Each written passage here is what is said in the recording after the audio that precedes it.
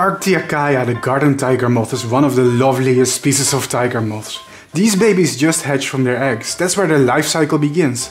As very small caterpillars, but they aren't small for very long, especially not if you raise them on dandelion, stinging nettle, dog sorry, sorrel, cherry leaf, bramble or other types of their favorite plants and in no time they grow hairy over time and way bigger. Personally I raise them in plastic boxes on various herbs and shrubs. They aren't difficult at all unless they decide to hibernate. Over time they grow hungrier, fluffier and even more hungry. Wow, look at these pretty little babies. They should be close to cocooning now. And then they spin a cocoon with loose strands of silk. Finally, their next move is to pupate.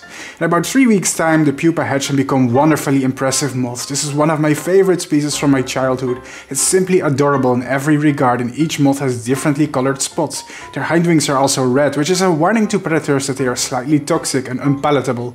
Life cycle complete, 1 minute life cycle.